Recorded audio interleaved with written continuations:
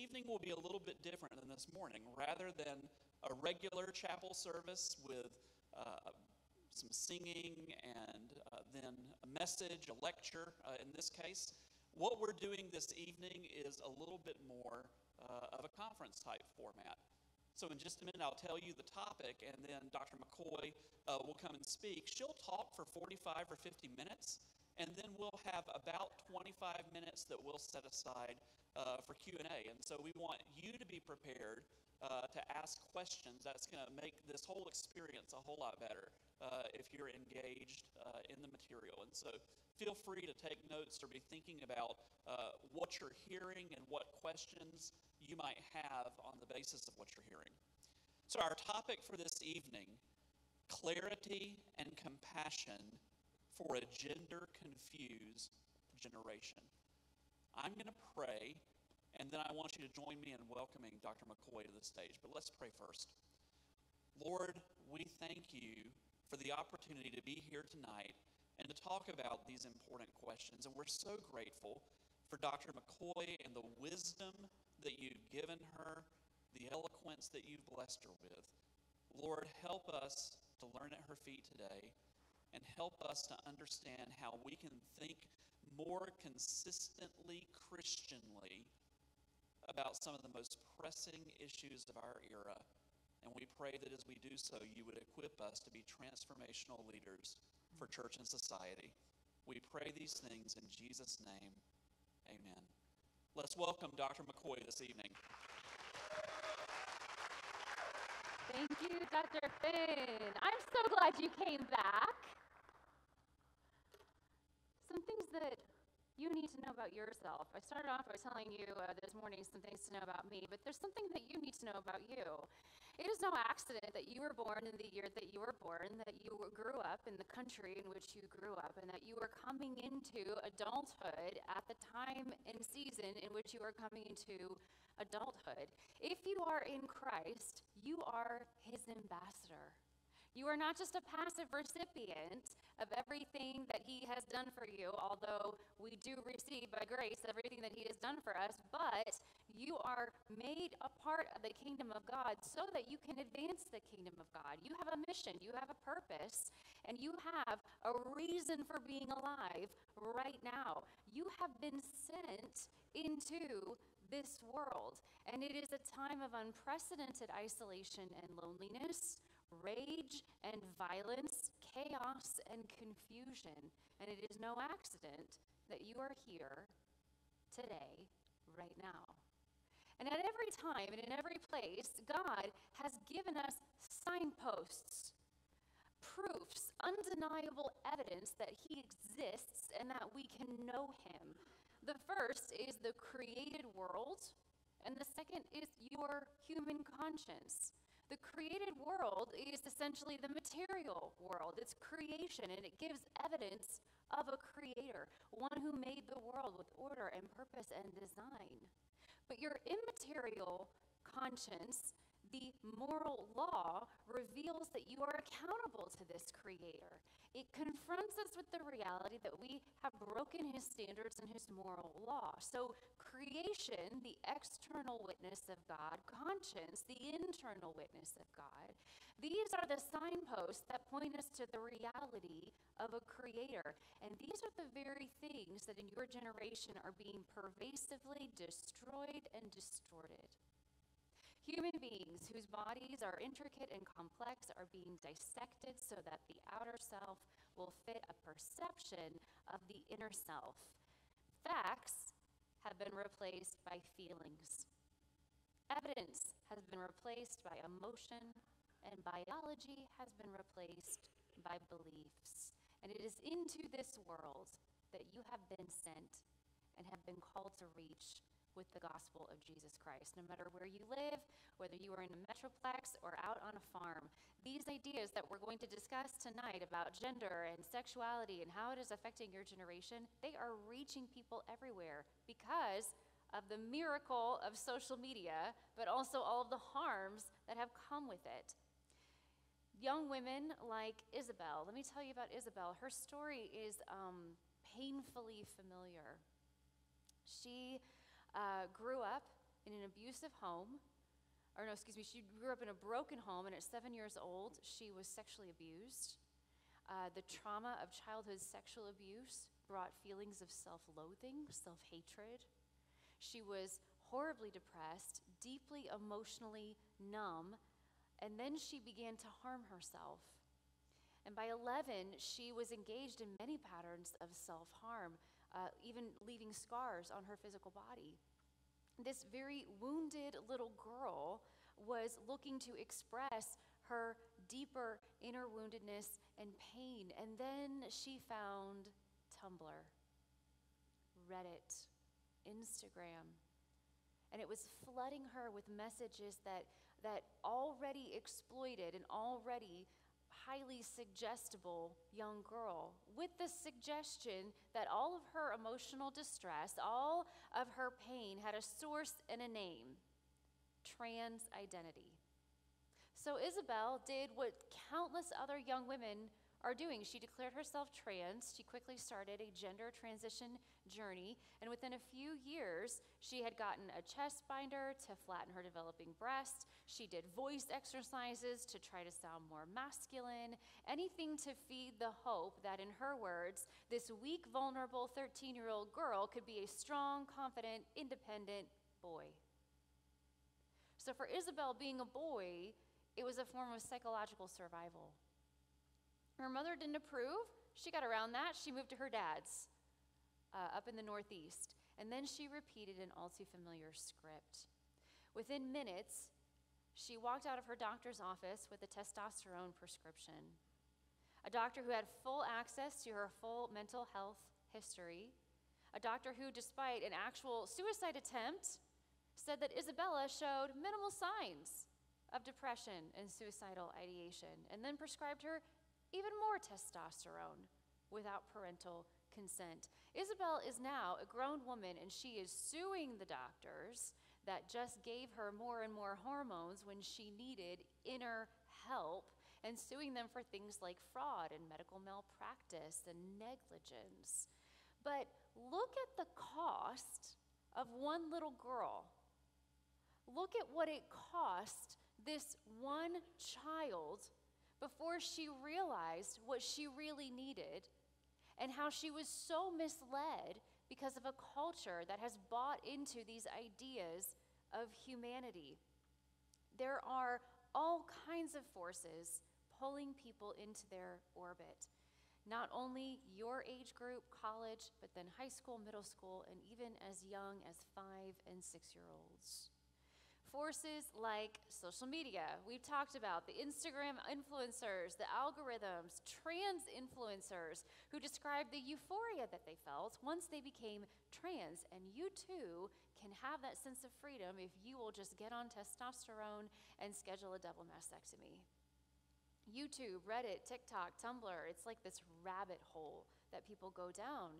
And they're already vulnerable, suggestible, spirits and minds are taken captive and led to these ideas, ushering them into uh, some irreversible consequences. Forces like psychological trauma, there was one uh, psychologist who testified before Congress that a factor among many trans identifying adults was that so many of them had a history of abuse. This was a form of coping mechanism, it was a form of trying to soothe and ease inner pain. Forces like gender affirming care, a therapeutic standard of care that actually agrees with the patient's self perception. And this is not an approach taken in other areas of psychological studies, but when it comes to gender, instead of the counselor trying to help the patient uh, correspond to reality. Instead, the counselor says, uh, I agree with you that you are a girl trapped in a boy's body, or I agree with you that you're a boy trapped in a girl's body. Now, how do we help you learn to relate to this oppressive and toxic world that is not going to be as accepting? So instead of trying to help the person correspond to reality. Instead, specifically with gender identity, it is to try to make the outside world meld and mesh with the internal perception. It gets even worse, by the way, when we start looking at all of the different spheres that have been affected by gender ideology. For instance, corporate activism. Um, corporate activism in companies like Target. Do you remember what Target did last spring around Pride Month? Oh, let me tell you.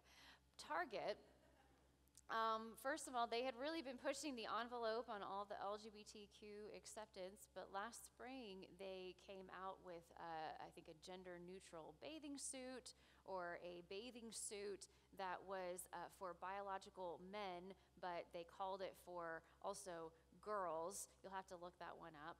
And then the big one that they did was they partnered with an avowed Satanist with a strong social media following to create products specifically for their retailers. And if you're wondering, if, does that express a deeper, darker agenda? The answer is yes, exactly. We can talk all about the different sociological and economic and cultural influences, but underneath all of these things is a spiritual influence. We'll come back to that in a moment. Something that you may not realize is how influenced you are by marketing and that marketing is also influenced by something called the Corporate Equality Index. The Corporate Equality Index comes from an organization called the Human Rights Campaign. It's kind of ironic that it's called the Human Rights Campaign because it doesn't actually deal with human rights like uh, persecuted Christians in the Sudan or uh, the Uyghurs in China.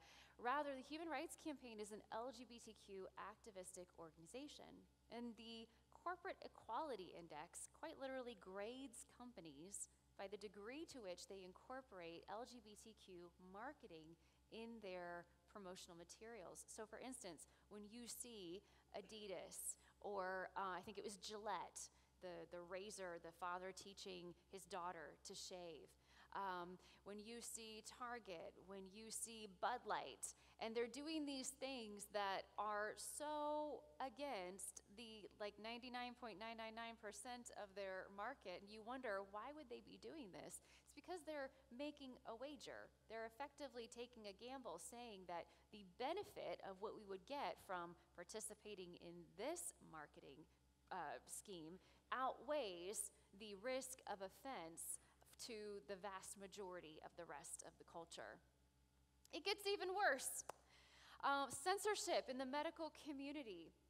When there is a study that claims to say that gender affirming care, so things like cross sex hormones and surgeries or puberty blockers, that that is beneficial to a teen mental health, that study is blasted all over mainstream media. You'll find it on CBS News, NBC News, all of the main media outlets that you would expect to see. And it's not only shared, it's shared as an established fact. Like, see, all of this gender affirming care really is good for teens who are struggling with gender dysphoria. And it would be horrible, cruel, and inhumane to deny them that gender affirming care.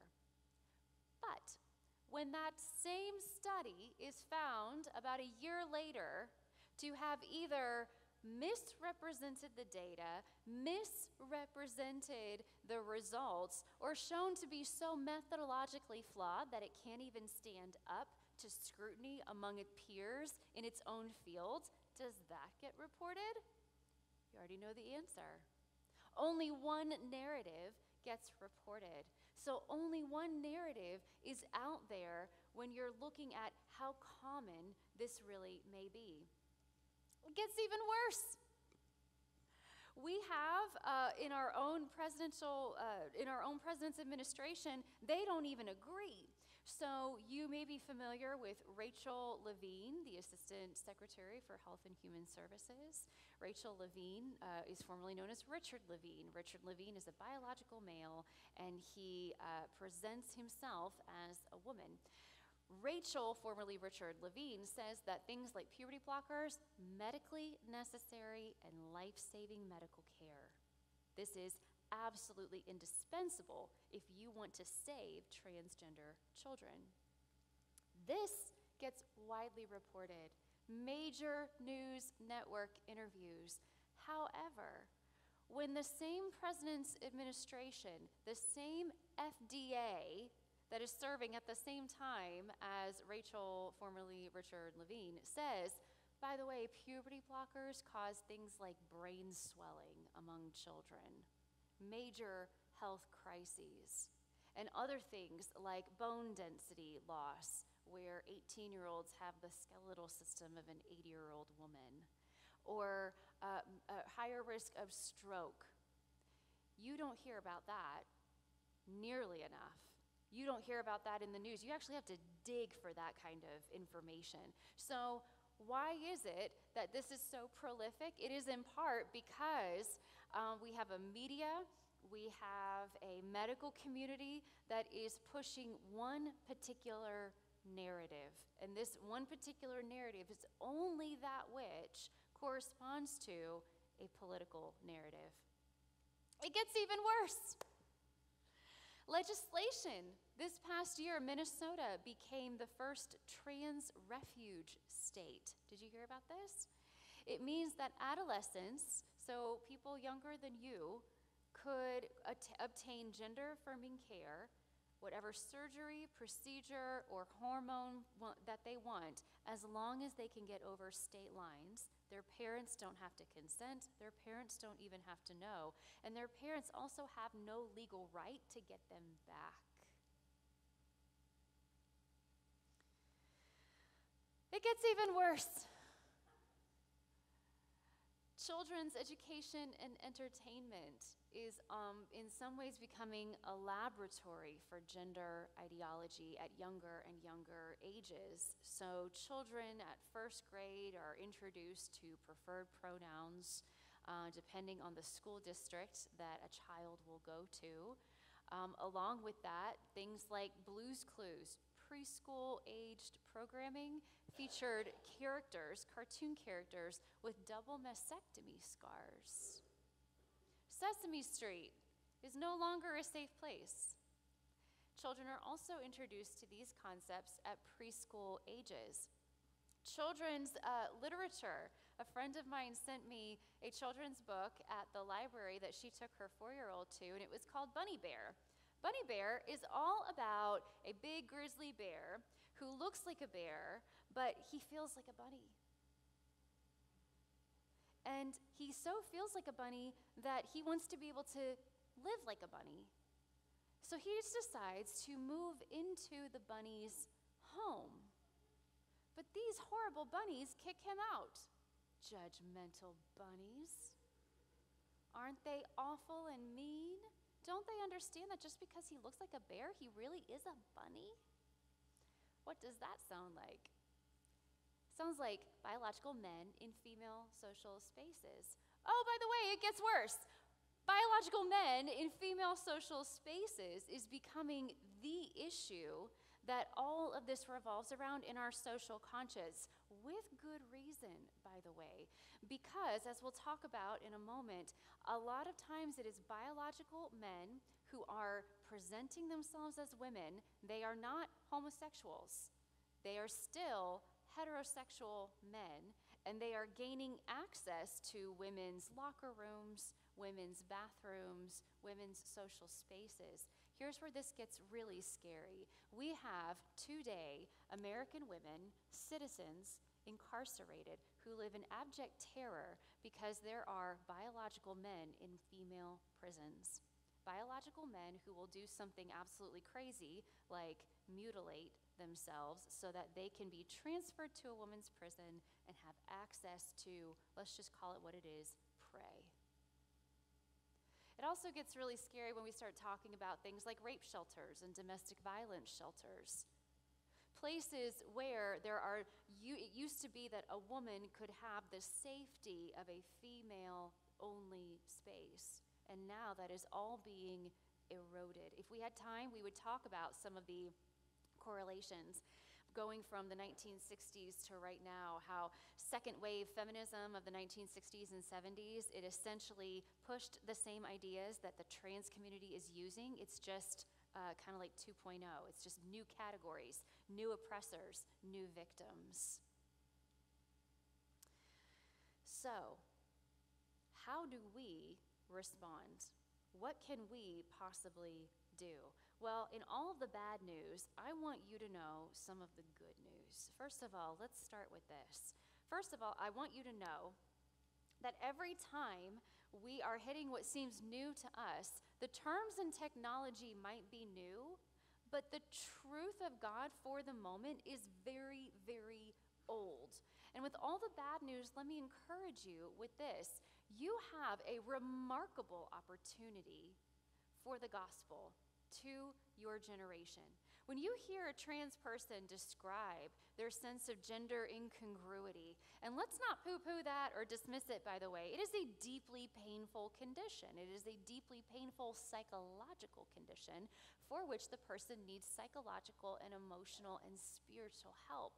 The issue here isn't that we are uh, denying that gender dysphoria exists, it's that we're denying what culture would tell us it is. It, it isn't some type of uh, inner truth that a person needs to express outwardly. Rather, it is a psychological malady that needs expert care. And that's certainly how it's been treated in generations past. But here's the good news when people talk about their sense of gender incongruence, you're going to hear them say something like this. It might vary at points, but the script is pretty familiar. There's something wrong with me. I was born with it. I've had it all my life. And I need to be a different person to find peace. You already, I mean, you already know where to go with that, right? Could you ask for a better tee up to the gospel? Yes, there is something wrong with you. You were born with it, you've had it all your life. And you do need to be a completely new person. And only when you are a completely new person will you find peace. But you need something that no surgeon can deliver, no shot can give you, and no pill can procure. You need new birth. And until you have new birth, until you are reconciled to your Creator through Christ, you will never have a sense of reconciliation within yourself. All of these things, that inner brokenness, that inner dissonance, it is a symptom it is a symptom of the problem that every person in humanity has.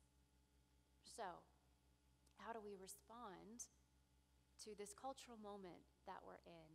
Well, let's take a step back and look at creation from the very beginning. First of all, we know from reading our Bibles that God created humanity as either male or female. What we learn in Genesis 1 is that humans are part of God's creation, but they're not like the rest of God's creation. Unlike the rest of God's creation, they are created in His image. Now, if you're wondering, what Bible verse might we have to define what it means to be in the image of God? The answer is we don't have one. And I think that's entirely intentional because it is so complex. It is so deep and wholly pervasive. It's not like we can take a corpse and on uh, doing uh, some type of post-mortem and say, okay, this is the part of him that is in the image of God. The rest is just physical. The rest is just meat and bones and tendons and nerves. No, all of you is created in the image of God. It is complex and holistic.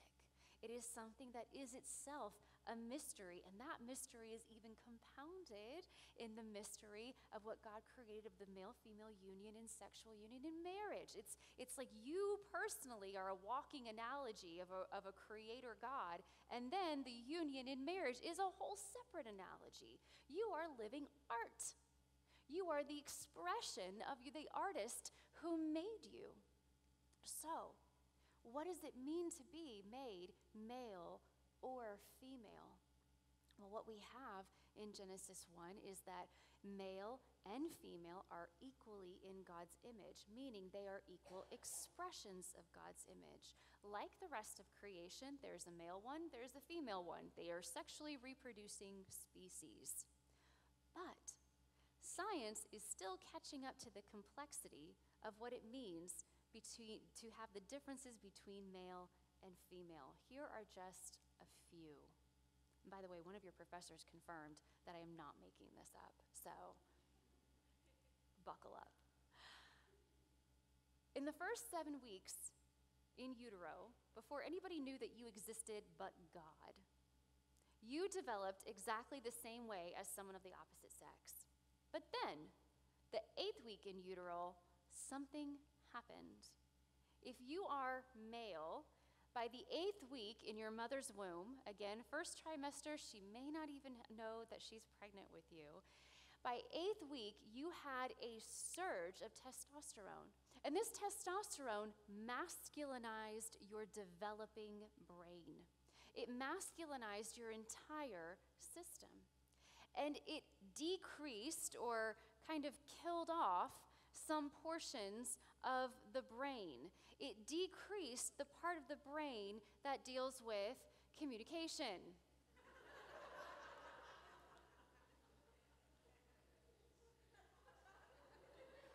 I'm not making this up. I got, I got PhDs to support everything. But it increased other things like motor skills, spatial skills, aggression, sex aggression. It wasn't just that there are differences between male and female, it's that these differences correspond to and complement each other. Girls, if you're, if you're female, you did not have this surge of testosterone, and so your brain continued to develop and develop uh, bigger centers of your brain dealing not only with communication, but empathy, the ability to spontaneously relate to the emotions of someone else, the ability to almost enter into the feelings of someone else, even if you're not specifically uh, experiencing what they're experiencing. These gender based differences from male and female are present within the first few hours after you were born. Within 24 hours, baby girls are more responsive to hearing the cries of other baby girls. Isn't that sweet? Either that or they're just kind of wanting to get the party together, you know, like let's let's all start talking and hanging out. Actually, even before that, in the womb, baby girls, kid you not, their jaws go. We're talking. We're talking before we come out. Within a few weeks after birth, Baby girls increase in what's known as a mutual facial gazing. They want to look at a caregiver. They want to look at your face. And so if you're holding an infant girl while you're feeding her, she's staring at you. She's studying you. Baby boys, guys, when your mom was holding and feeding you, you might look at her and then you go, "Oh, what's that?" Why? Your brain is wired to see motion to see something that is moving. You would be looking at the mobile, something that is in motion. This is even true of uh, infant males and females, or baby males and females of other species. There are certain monkeys that have been studied, and it shows that these uh, toddler female monkeys they have baby dolls, and they're like caring for the baby dolls and worrying about them and, and making sure they're okay. And then um, toddler boy monkeys. They're pray, playing with the uh, little wheels, Hot Wheels, and something in motion. These, these are sex based differences that produce what we would call gender stereotypical behavior.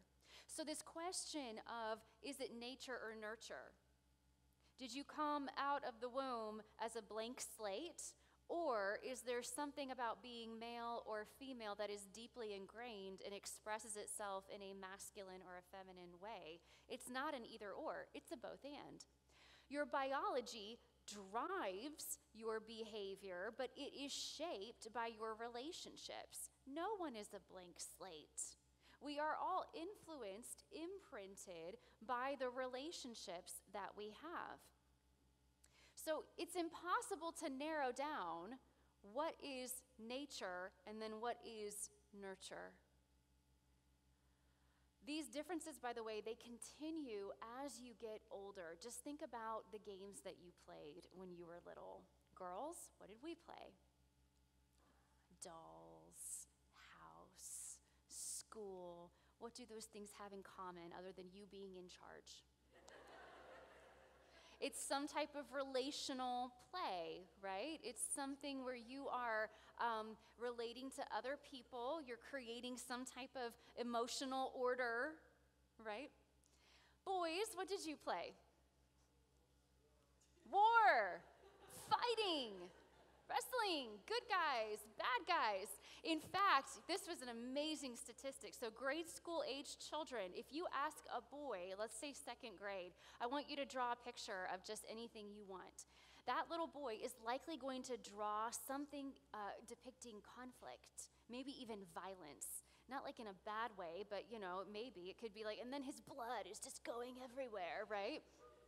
That's normal. When a girl, when a girl of the same age draws the same uh, type of violent or conflict oriented uh, picture, it's usually indicative of a major psychological issue. That something is wrong and she's expressing it.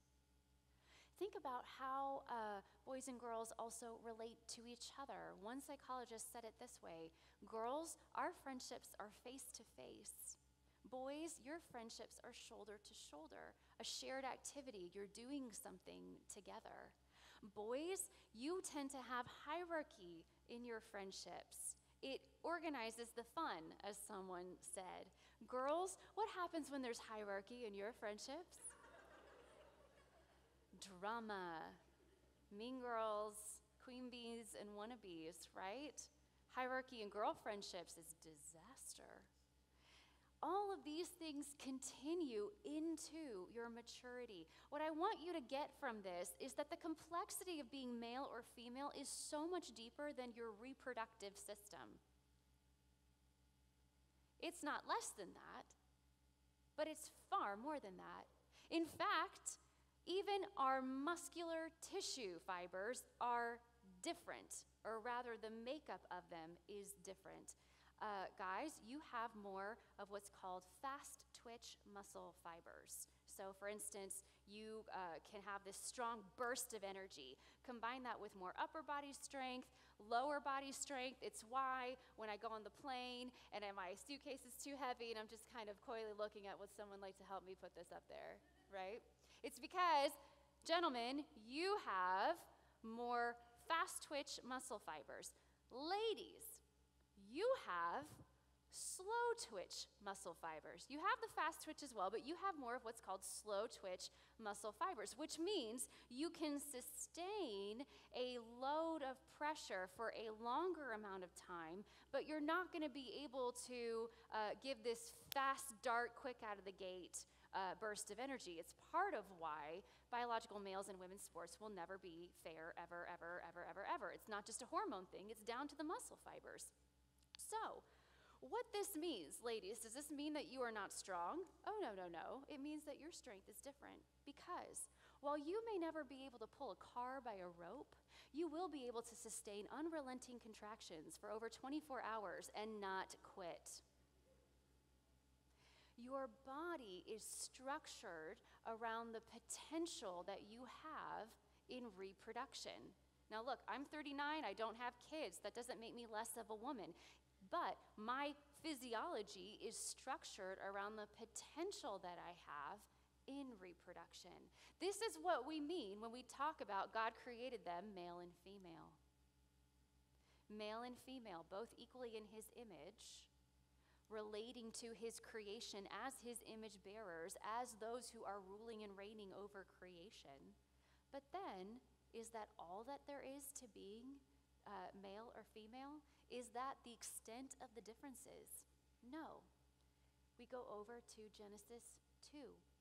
In Genesis 2, we find a poetic retelling of the creation story. And instead of even the Hebrew words for male and female, we have different Hebrew words. And these are the words for man and woman. This is such a nuanced presentation of humanity. Even the name of God is different between Genesis 1 and Genesis 2. In Genesis 1, he's Elohim, the creator. In Genesis 2, he is Yahweh. That's his personal name. That's the name he gives to people who know him and know his character. So in Genesis 1, we have the words for humanity, male and female. In Genesis 2, we have the words for man and woman. And the Hebrew for that, you may have heard this before, ish for man, isha for woman. Ish, isha, ish, isha. The Isha is in every way like the Ish. She comes from the Ish. She corresponds to the Ish, but she is not the same as the Ish. Right? She is corresponding to him. She is face to face in front of him. She is the only other one in creation who is truly like him, but she is not identical to him. Now, here's what I want you to get from that. In Genesis 1, we see how male and female relate to God and the rest of God's creation. They are his image bearers. They are ruling and reigning over creation. There's a male one and a female one. In Genesis 2, we see how man and woman relate to each other. They have a relationship in which they are, uh, she, the, the woman is corresponding to the man. She comes out of the man. It's, it's a beautiful telling of the creation story in Genesis 2. Have you ever wondered why um, God did not form the woman out of the dust of the ground the way he formed the man? He could have formed the woman any way he wanted to. He didn't form her the same way he formed man. Instead, he formed the woman out of the man. What's he saying with that? He's saying that she is in every way equal to him, just not the same as him. The only way that he could disparage her, that he could uh, dismiss her intellect, that he could disrespect her, would be to disrespect himself. See, God is telling a story in the difference between man and woman, and he's telling us how they are to relate to each other.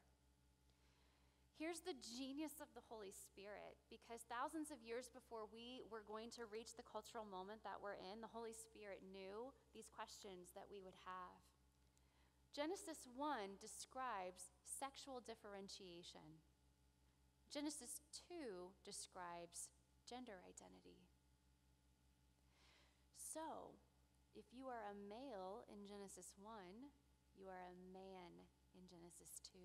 If you are a female in Genesis 1, you are a woman in Genesis 2. In other words, from the very beginning, God intended your sex and your gender to be a cohesive whole. Our culture tells you that those two things are, are just completely divisible, that your biology has nothing to do with your gender. What Scripture tells us before sin, I'm going to sneeze. Thank you. What scripture tells us is that before sin, before any human corruption, that your sex, your biology, and your gender, your sense of who you are and how you relate to others and the world, that they are distinct aspects of your identity, but they're not divisible. You can't divide them. And down to the cellular level, we can't divide the male part of you from the human part of you. We can't divide the female part of you from the human part of you. It's impossible. You're too complex. You are too fearfully and wonderfully made. You're too much of an intricate piece of art. And like all art, you express the creator, you express the artist who made you. I want you to know that even though this is very new for us, and, and it is new, uh, in the last 15 years, we have seen just a tidal wave of gender confusion. And we, uh, if we had time, we could talk even more about how that came to be. Um, but even though it is new, it is still very old. Not only the ideas of what it means to be human, but but transgender people, what we would call transgender people today, they've been existing for thousands of years. There was a Roman emperor who wanted to be called Domina instead of Dominus. That sounds like female pronouns, right? He reportedly uh, was uh, offering a fortune to doctors who would be able to medically change him into a woman. This psychological issue is not new. What is new is the way it is not only uh, politicized, but justified and presented as a new and improved version of humanity. What I do want you to know, too, though, and, and I, it pains me to tell you this, um, in part because I know how different the world was when I was sitting in your seat, is that it's going to get more and more uncomfortable to say these very basic truths. It's going to get more and more uh, costly to say these very basic truths. And that is because we have a culture that is more and more turning away from the basic truth of the external witness of God in creation and the internal witness of God in our conscience. This is also why we need you engaged in the political sphere. People talk about, like, should Christians be involved in politics? Well, let me ask you, what isn't political? What law is irrelevant? People talk about how, um, you'll hear this phrase, you can't legislate morality. Have you ever heard that phrase? People say, well, you can't legislate morality, you can't make people good. Now, on the one hand, that's true. Martin Luther King Jr. Uh, said in Strength to Love that uh, laws don't, uh, don't make men moral, but they do restrain the immorality of men. So uh, it can't change the heart, he said, but it can restrain the heartless. That's a good way of thinking about it. But I do want to know if, if you can't legislate morality, then how come you have to do things like pay your taxes? And how come people go to jail for murder? Someone's morality is being legislated. Next time you are at a stop sign, I want you to think of this. Why is that stop sign there? I think that every time I'm at a stop sign. I usually want to blow through it. Why is that stop sign there? I do. I do a Texas stop, 15, 12 miles an hour. I shouldn't have said that. That's being rec- this is recorded. Why is that stop sign there? To create order in traffic, right? Why is it important to have order in traffic? So that you don't get in an accident, right? Okay. Why is it important that you wouldn't get in an accident? Because human beings have value. Why do human beings have value? Well, now we have just arrived at a major moral claim. Because whatever you answer is based on some type of moral ground. The stop sign that you don't want to stop at is legislating morality. Someone's morality is being legislated. The only question is whose. This isn't a time to retreat from public and social action. It is a time to think very deeply about what a Christian's responsibility for the common good and to love their neighbor really is. The next thing I want to uh, tell you, and I will, um, I will end with this. It, we talked about this earlier today. It's no coincidence that your generation, those in late teens and 20s, you are living at a time when Christianity has deeply fallen out of favor with broader culture. And not only that, but you are living at a time where there is widespread gender confusion and epidemic levels of anxiety and depression. For the first time in our American history, there's a generation growing up without the influence of the Christian faith in society. Now, that doesn't mean that before we were some kind of Christian nation. That's not what I'm saying. But what we did have before are some basic concepts that guided people's lives, like the fact that God exists, that there's an absolute right and wrong, that there's a heaven and a hell, that we have some responsibility towards other people. And these things helped create an ordered culture. You don't have to look at America for that. You can look at like the Middle Ages for that. You can look at how St. Patrick transformed Ireland for that. Wherever Christianity is introduced into a society, it always leads to the benefit of the most vulnerable. There's a reason for that. It is in the DNA of your faith. It is in the DNA of your spiritual forefathers and foremothers. So, I'm not trying to say that we need to win some type of political preeminence. That's not it. And I'm not trying to pull us back to the 50s or a time that seemed simpler. Instead, I want to pull you back to the very beginning. In the beginning, God. To the intent and significance of humanity as male and female in the image of their Creator. And then I want to point you to the very end when the bodily resurrected Lord Jesus is going to return physically and give us physically resurrected bodies. I want to leave you with one thing today, and for that, I need two volunteers. How about you two? Come on up. Give a hand for our volunteers.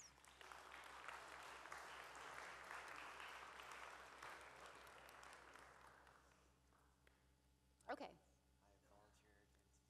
Good, good, good, good, good. All right. I'm going to give you a pen. Okay? I'm going to give you a pen. All right. So, um, how much do you think that one pen costs? Not like how much it would sell for, but how much does it cost? Lowball it, lowball it. No, no, no, no. Uh, low. Okay, 50 cents. Good, good, good, good, good. 50 cents. All right. I agree with you. That pen is about 50 cents. I mean, let's be honest. It was made in China. It's probably like like 2 cents to make, okay? All right. Oh, it's okay. It's okay. Thank you for playing along. I'm going to give you a dollar for that pen. No, I'm going to give you a dollar. I'm going to give you a dollar for this pen that is not worth a dollar. I didn't pay a dollar for that pen. Yes, good, good, great. Give him a hand. All right. I'm going to give you a dollar for your pen too. But before I do, I need to tell you where your pen came from. Your pen came because there was this one day that I was just so frazzled. I was running in and out. I needed a pen. I had to sign some really important document. I could not find a pen. And then this really sweet girl tapped me on the shoulder and said, Hey, do you need a pen? I said, Yes, thank you so much. And she gave me this pen, and I've held on to it because that pen was given to me by Taylor Swift. So, do you want your dollar now?